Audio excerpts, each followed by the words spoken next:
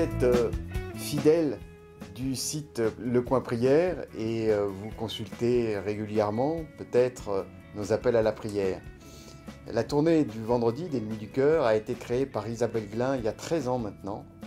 Et Isabelle vient de sortir un livre merveilleux qui relate ces 13 années de rencontres avec les amis de la rue, dans le métro, dans les rues.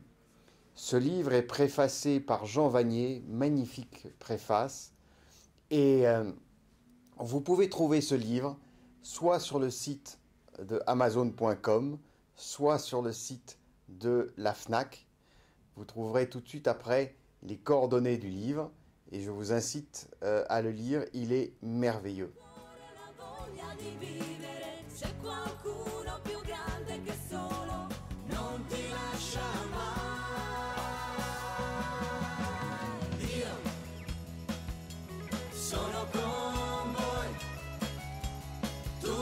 Giorni fino alla